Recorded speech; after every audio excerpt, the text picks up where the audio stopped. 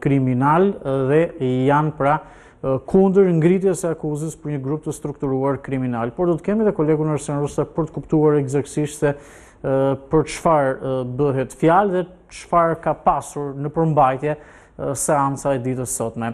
Arsen mirëdita, jemi edhe së bashku, dëgjuam pak qëndrimin e avokatëve, konkretisht për çfarë ishte seanca sot edhe qëndrimin e avokatëve që mbi të gjitha nuk donin që të përfshihej grupi i strukturuar kriminal, po kishin dhe pretendime të tjera.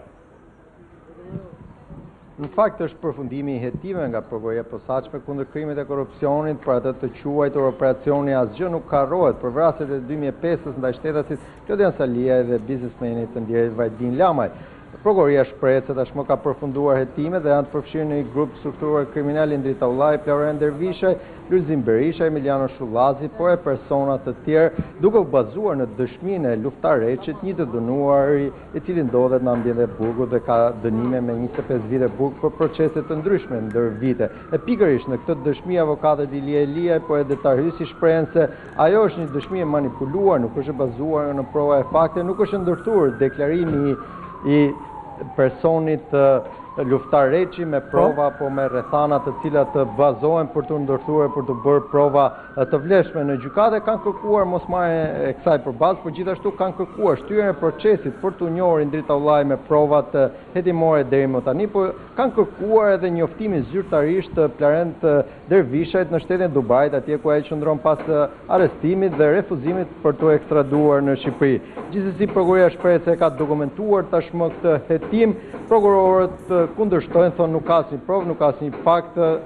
siç e dëgjuam dhe sinkronin e Ilia Ilias e cilëson një mashtrues serial Luftar Reçin, por nga ana tjetër prokuroria e posaçme shprehet se deklarimet e tij janë të besueshme pasi nuk janë vetëm deklarimet e tij, kemi e mjaft prova të tjera. Mbetet për t'u parë se çfarë do të vendosë gjykata, do ta pranojë këtë hetim, do ta kthejë për plotësim hetimesh apo do të pushojë akuzën tashmë të ngritur në kuadër të një grupi të strukturuar kriminal.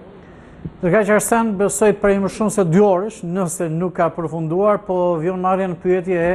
ish ministrit të mjedisit zotit Lefter Koka për aferën e inceneratorëve. Çfarë mund të më përcjellësh? E nëse një ditë më parë këtu kishim ish sekretarin e përgjithshëm të ministrisë së mjedisit asokohe Alqi Bllakon, por edhe funksionar publik në kontratën e partneritetit publik privat për inceneratorin e Fierit, aktualisht prej orës 10 ka mbërritur nga paraburgimi i Durrësit në dhomat e qelisë, po, godinës së posaçme kundër krimit e korrupsionit, ish-ministri i Mjedisit, zoti Lefter Koka, i cili është i shoqëruar nga avokati i tij, Julian Mërtiri dhe po pyetet nga prokurori Dritan Prençi, ndalur në procedurat e inceneratorit të Fierit, teksa në dëshminë e tij zoti Bllako refuzoi përgjegjësinë penale duke deklaruar se vetëm kam përcjellë aktet si pjesë e ministrisë, po ashtu babai im nuk ka një kontratë pune me Klodian Zoton dhe është shkëputur nga ajo marrëdhënie juridike për të mos pasur një konflikt interesi disa kohë përpara se sa të firmosej kontrata e partneritetit publik-privat, mbetet mister se çfarë po deklaron ish-ministri i Mjedisit, i cili duhet thënë pyetet për herë të parë pasi përgjatë periudhës hetimore pa u vendosur masa e sigurisë edhe ai vetë por edhe nëpërmjet mbrojtësit edhe avokati Fatmir Braka ka deklaruar se nuk është pyetur asnjëherë, pritet në përfundim të kësaj seance të ketë avokati i tij një komunikim me mediat për të shpjeguar qëndrimin e ish-ministrit Mjedisit, i cili të paktën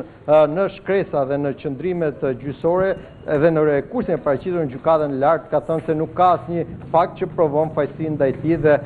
kapitalin apo atë që quhet pasuria e tij e ka vendosur me biznes dhe jo nuk lidhet fare me funksionin publik si ministër përgjatë periudhave të ndryshme. Shkurtimisht Alqi Bllako, nuk e di çfarë ka deklaruar gjatë ditës djeshme që mund të vlejnë për hetimin, Nuk kam përgjegjësi penale, nuk kam një konflikt interesi apo favorizim të kompanisë Integrated Energy apo biznesmeni Klodian Zoto për të punësuar babain. Babai im e ka firmosur kontratën e punës dhe e ka shkëputur atë jo me Klodian Zoton, por me administratorin italian të kompanisë dhe disa kohë përpara se sa të firmosej koncesionari i partneritetit publik privat, babai im është shkëputur nga kjo marrëdhënie pune. Unë kam përcjellë vetëm ato akte të një vendimmarrjeje kolegjiale, shprehur zoti Bllako, i cili dëshmia e tij, së bashku me dëshmitë e tjera, jo vetëm edhe zotit Koka, por edhe pjesëtarëve të tjerë të cilët tashmë janë të arrestuar, por edhe me masë arrest në shtëpi e detyrim paraqitje, do t'i bashkangjiten fashikullit hetimor dhe pritet që prokuroria më pas të konkludojë në përgjegjësitë penale të secilit prej këtyre të ndaluarve deri në këto momente, pasi prezumimi i pafajësisë është, por ende nuk kemi nëse ka apo jo një akuzë të bashkëpunimit apo të grupit strukturuar kriminal. Faleminderit Arsen. Ndërsa ne menjëherë zhvendosemi në selinë e Partisë Demokratike, zoti Berisha, ish kryeministri, ka një komunikim, konferencë me media,